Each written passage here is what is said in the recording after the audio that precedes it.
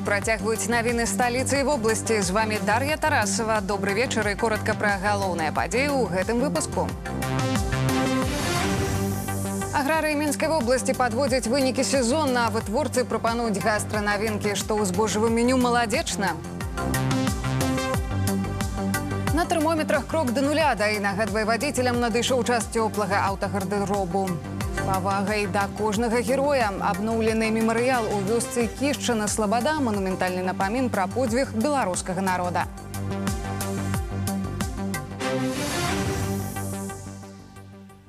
Больш за тры з паловай тысячы замежных грамадзян з пачатку года атрымалі беларускае грамадзянства. Яны павінны пражыць на тэрыторыі нашай краіны не менш за 5 гадоў таксама ведаць адну з дзяржаўных моў і прымаць прысягу.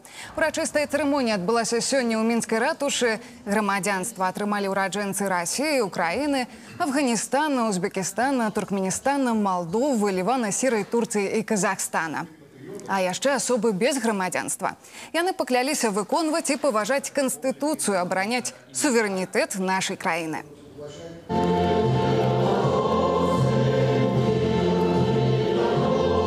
Приехали сюда э, на постоянное место жительства в 2015 году, продали дом в Казахстане и купили на эти деньги здесь, в Беларуси, квартиру из собственных средств. Понравилась экология, леса, поля, чистота, безопасность. Беларусь – это страна для жизни, для комфортного проживания, воспитания детей. 1200 граждан Российской Федерации приобрели в настоящее время гражданство Республики Беларусь. Потом идет граждане Украины, это больше тысячи человек. Потом представители других государств СНГ, в первую очередь Казахстана, Кыргызстана, Таджикистана. Всего э, больше 30 стран граждан, которые в этом году стали гражданами Республики Беларусь. Но также присутствует в этом числе и 365 лиц без гражданства.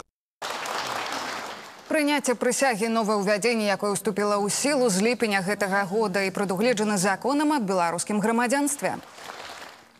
З павагай пашанай да кожнага героя вялікай айчыны сёння пасля рэканструкцыі ўрачыста адкрылі абноўлены мемарыял у вёсцы кішчына слабада ў барысаўскім раёне.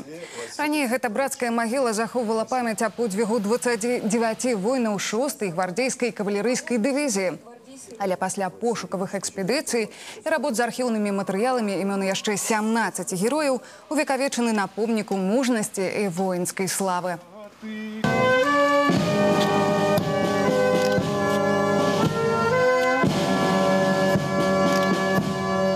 Поиском я занимаюсь уже более 20 лет. Все началось с поисков своего родного дедушки, Шаткова Василия Стефановича, который пропал без вести в ноябре 43-го, и до сих пор я не могу найти о нем сведений. Это побудило меня искать других солдат и воинов. Поиски этих солдат заняли почти полгода. Ближайшие братские захоронения – это Студенка, Брели, там еще предстоит работа. И для нас было делом чести и нашим долгом восстановить вот это данное воинское захоронение. Мы оставили вот центральную часть э, с э, фамилиями э, бойцов, которые были захоронены ранее, а по бокам добавили вот 17 фамилий, которые сейчас были увековечены, ну и сделали благоустройство прилегающей территории. Хочу отметить, что это, конечно же, было сделано, и я благодарен всем нашим сотрудникам, потому что это было сделано за счет личных средств работников предприятия Минского Болгаз, всех филиалов Минской области. Шостая гвардзейская кавалерыйская дывізія пачала вызваленне Беларусі з Віцебскай вобласці. За месяц прайшлі з баямі амаль 8 сотень кіламетраў. Акрамя гэтага чырвонаармейцы выратавалі ад захопнікаў дзясяткі населеных пунктаў, у тым ліку маладзечна, ліду і грудна. Напярэдадні стагоддзя падраздзяленняў участковых інспектараў міліцыі ў барысаве адзначылі супрацоўнікаў вобласці. Урачыстае адкрыццё загараднага аддзела міліцыі дало старт святочным мерапрыемствам. Супрацоўнікі абслугоўваюць больш за 30 тысяч жыхароў раёна. Комплекс адпавядае ўсім патрабаванням. У ім размесцяцца аддзел міліцыі, аддзел па грамадзянстве і міграцыі, інспекцыя па справах непаўналетніх, а яшчэ крымінальна-выканаўчая інспекцыя.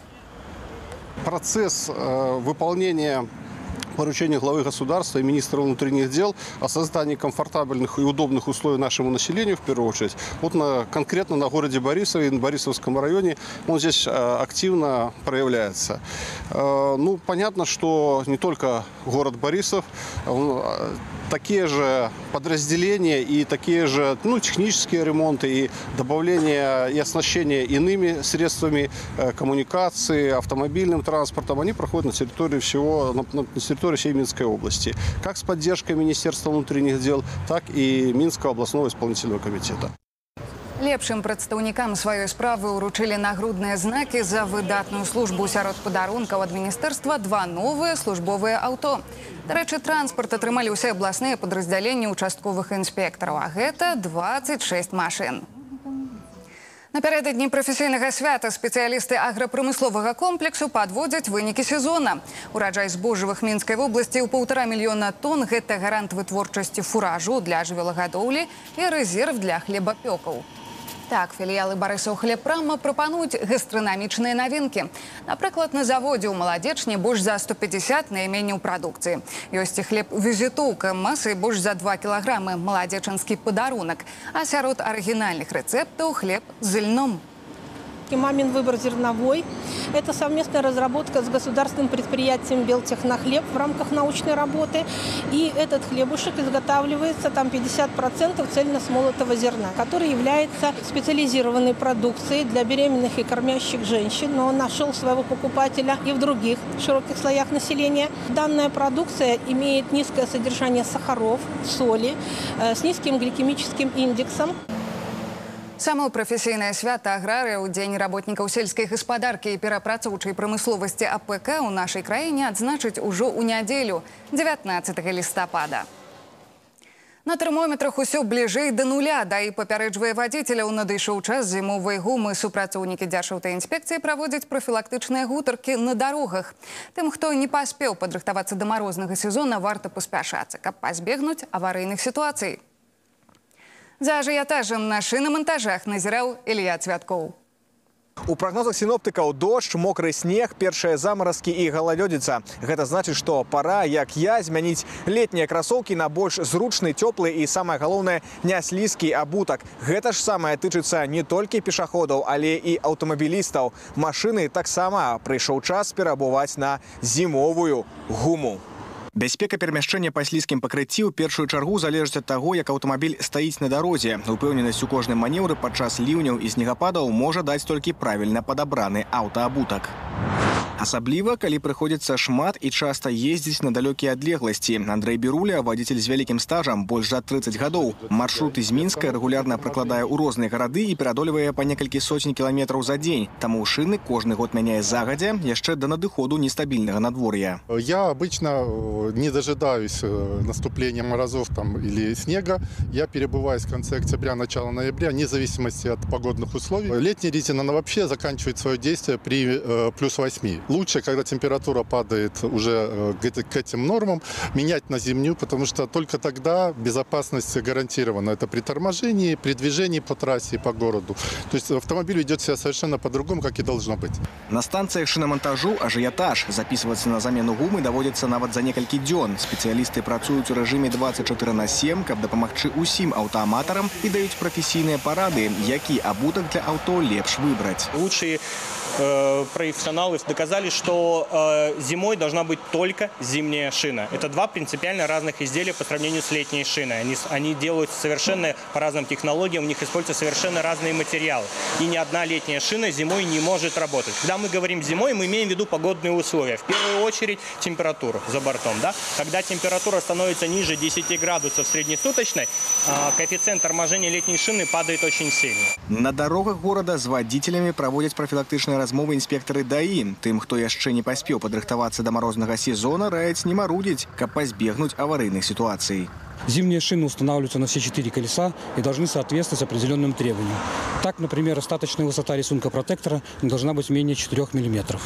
Кроме этого, шина считается непригодной к эксплуатации при проявлении хотя бы одного индикатора износа, расположенного по дну канавки протектора при равномерном износе, либо двух индикаторов в каждом из двух сечений при неравномерном износе беговой дорожки. Хорошая резина повышает маневренность на дороге. И что самое главное, э, уменьшает тормозной путь автомобиля при резком торможении. Вы двигались со скоростью 60 км в час, тормозной путь составил примерно около 5 метров. То есть если бы вы в таких условиях двигались на летней резине, он бы был примерно в два раза больше. даі нагадвае змяніць летнюю гуму на зімовую па правілах дарожнага руху неабходна да першага снежня за адсутнасць шын з марознай маркіроўкай з першага месяца зімы можна атрымаць штраф лія цвяткоў віталь сяляўка агенцтва тэленавін Стрит-арт у стылі МНС усё больш прыпынкаў бяспекі з'яўляецца ў сталіцы. Ужо больш за 40 пунктаў аформлены тэматычнымі малюнкамі. Адны транслююць ролікі з бяспечнымі парадамі для дзяцей і дарослых, іншыя нумары выратавальнай службы. Прыпынак грамадскага транспарту ў ленінскім раёне нагадвае пажарную станцыю і расказвае пра гісторыю МНС. Внимание вопросам безопасного поведения уделяется, конечно же, особое. Но а в целом остановочные пункты – это форма работы с населением, это отчасти имиджевый объект МЧС, который позволяет скоротать время в ожидании транспорта, получить для себя полезные знания, использовать информационные ресурсы МЧС для того, чтобы быть в курсе событий и знать, как избежать чрезвычайных ситуаций. Родители могут установить мобильное приложение «Помощь рядом», либо изучать наши информационные ресурсы и быть в курсе новостей, событий и правил безопасности. О правілах бяспекі ў мінску нагадваюць таксама дзіцячыя пляцоўкі з драўлянымі пажарнымі аўто. У стылі МНС афармляюць і гульнявыя пакоі ў гандлёвых цэнтрах. А выраз дапамога побач можна ўбачыць на фасадах жылых дамоў і школ. У мастака Салігорска Валерыя Талкачова акварэльны бенефіс у Мінску у сталічнай арт-гасцёўні высокае месца майстра адкрыў сваю персанальную выставу і правёў клас для ўсіх жадаючых. Наведвальнікі з нуля ўбачылі працэс стварэння акварэлі на суд гледачоў усе тонкасці вытворчасці шэдэўра. Ад падрыхтоўкі паперы і пэнзляў да прамалёўкі.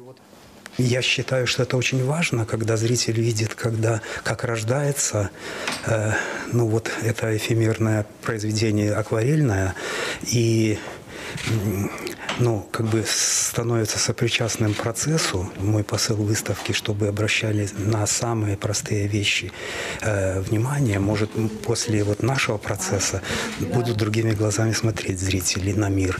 А может быть, кто-то еще и будет пробовать себя акварели. А она лечебная. Совершенно уникальный художник и, наверное, один из немногих, кого я знаю, кто разбивает шаблон. Общепринятое у нас такое мнение, да, что художник — это какая-то летящая личность, такая вот он встал там или поработал, или он не поработал. Взъершен. Нет, Валерий — это изначально структура, которая, наверное, только больше и больше увеличилась. Это многогранное развитие личности, это спорт, это режим, это ежедневное э, расписание работы, как он работает. Майстар-клас праходзіў у фармаце дыялогу. Гледачы змаглі задаць свае пытанні мастакам. Завяршылася арт-сустрэча стварэннем новай акварэлі, прысвечанай зіме. Выстава акварэльнай развагі ў Мінску да 17 снежня.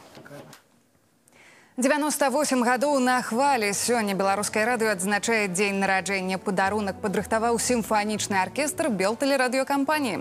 У канцэртнай зале верхні горад гучалі залатыя хіты эпохі праваднога вяшчання. Мелодыі глебавы івановы свірыдава і догі.